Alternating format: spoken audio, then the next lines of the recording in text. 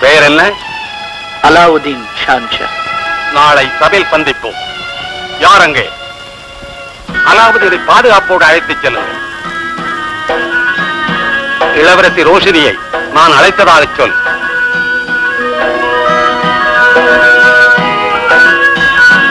பாப்பா. வாமலே.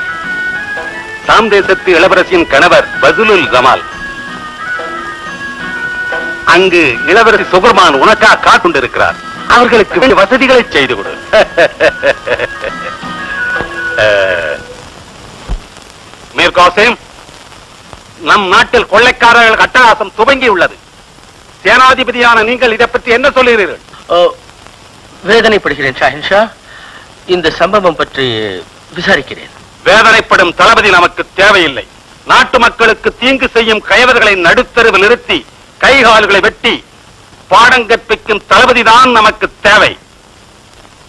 முகமது சேன் தீமைகளை எதிர்த்து போராட துணிவுமிக்க இளைஞர்கள் இந்த பாக்தாத்தில் யாருமே இல்லையா?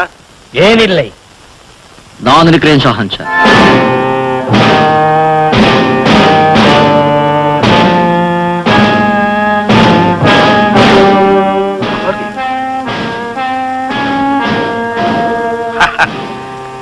ஷாயின் ஷா.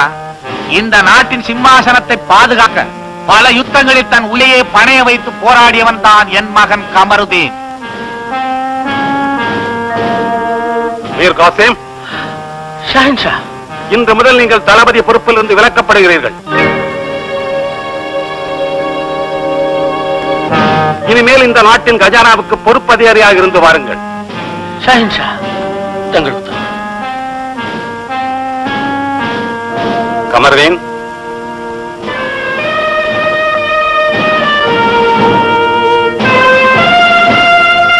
பிரதம மந்திரியின் மகனான கமர்வேனை நம் நாட்டு தளபதியாக நியமிக்கிறேன். இந்த பாக்தாத் மண்ணில் ஏதாவது அக்கிரமம் நடந்தால் அதற்கு எதிராக இந்த வாழ் பயன்படட்டும். தங்கள் உத்தரவை என் உயிரின் நிறைவேற்றே ஷாஹன்ஷா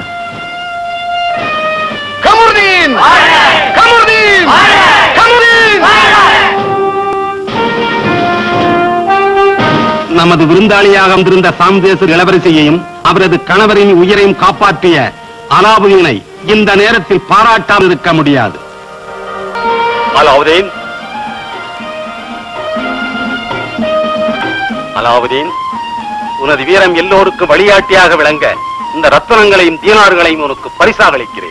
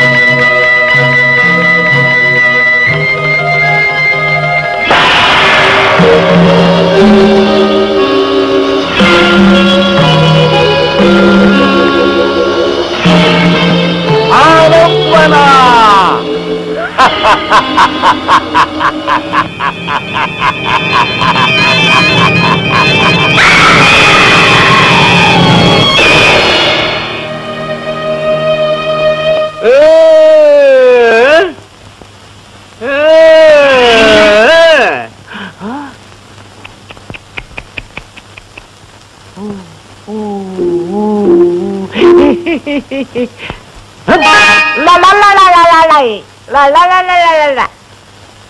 அம்மா? ஐயோ அம்மா.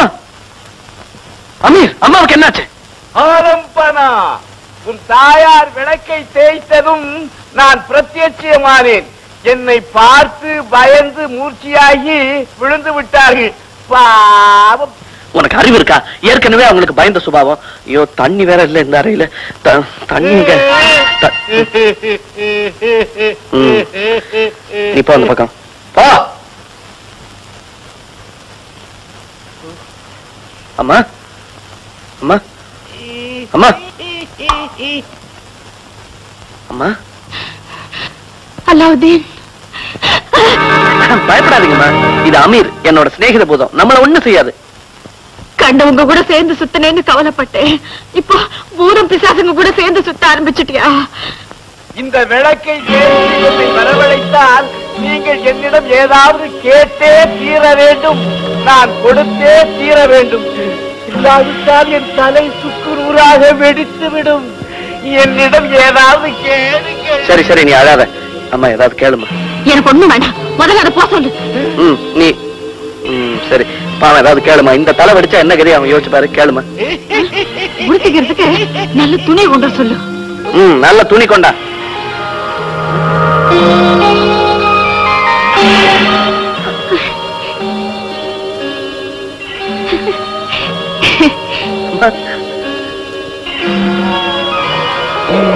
தேவையானதை எடுத்துக் கொள்ளுங்கள்.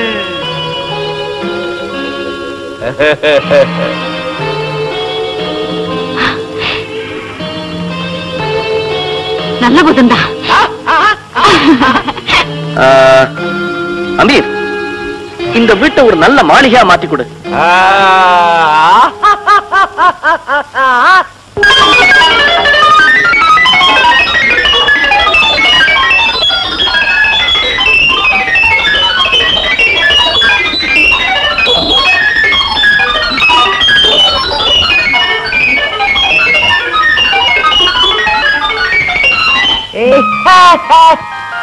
அலாவுதீன் உண்மையிலேயே உன் பூதம் அபூர்வ சக்தி படைச்சதுதான். இப்ப என்ன சொல்றீங்க? அலாவுதீன் எதுக்கும் லாய் இல்லாதவன் சொன்னீங்களே இப்ப என்ன வேணும் கேளுங்க. மகனே நீ இனிமேயும் பொறுப்பில்லாம இருந்தா நல்லா இருக்காது. பேசாம உன் வாப்பாவுடைய கடையை மீட்டி ஏதாவது வியாபாரம் செய். அவ்வளவுதானே?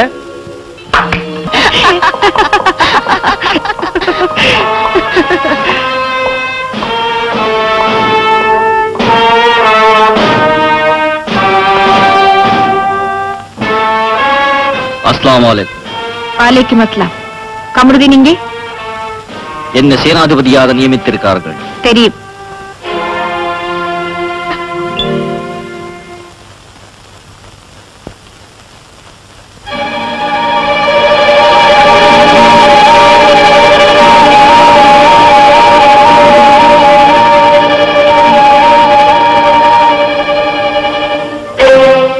வேறு விஷயம் ம்,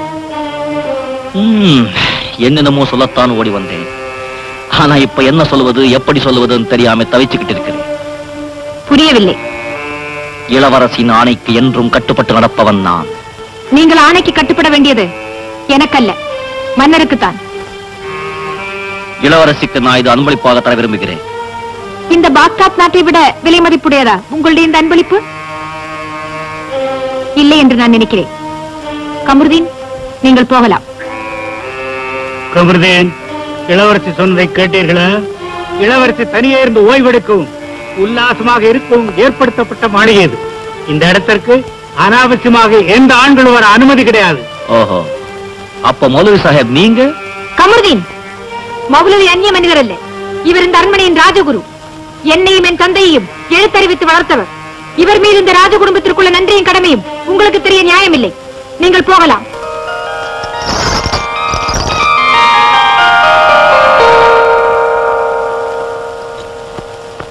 ரொம்ப நாள் குறை தீந்துருச்சு பாப்பா எழுந்த கடிய மகன் மீட்டுட்டான். எப்படியோ என் மகன் ஒரு வழியா நல்ல ஆளாயிட்டான். அது போதும் எனக்கு. இப்படியே பேசிக்கிட்டே இருந்தா இப்படி கைராசி அதாவது முதல்ல வியாபாரம் பண்ணுங்க. சரி ஜெமீலோடைய வாப்பாவுக்கு உடுப்பு தைக்க துணி கொடு. அதானே. எனக்கா வாங்கி தர போறீங்க? அலாவுதீன் எனக்கு என்ன தர போற?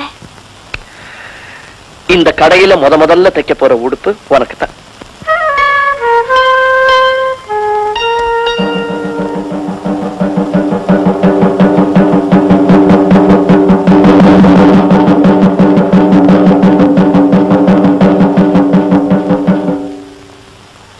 ராஜாங்க அறிக்கை.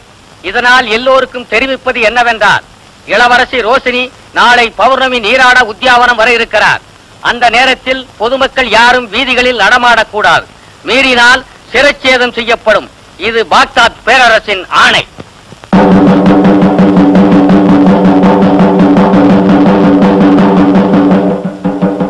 இளவரசி பிடிக்கிறது ஊருக்கே தெரியணுமா? தந்தூரா போட்டு சொல்றாங்களே. ஜுமார் பதினாறு அன்னைக்கு வருஷத்துக்கு ஒரு நாள். ராஜாங்க முறைப்படி அரசுக்குமாரி குளிக்க போவாங்க. அன்னைக்கு யாரா பார்த்தாங்கன்னா தலையே வெட்டிடுவாங்க. ஐயே வருஷத்துல ஒரு தரம் தான் இளவர் குளிப்பாங்களா? அப்படி இல்ல. ஜுமாத் பதினாறாம் நாள் ராஜகுமாரி பிறந்த நாள். அன்னைக்கு விசேஷ குளியல். அதனால் வீட்டை விட்டு யாரும் வெளியே வரக்கூடாது. ஏன் வரக்கூடாது? ஆனே ராஜகுமாரி குளிக்கிறத ஆம்பளைங்க யாரா பார்த்தாங்கன்னா அவங்க அழகுல மயங்கிடுவாங்களாம். அதனாலதான். ராஜகுமாரி பாத்திரமே மயங்க வைக்கிற அளவுக்கு அழகிய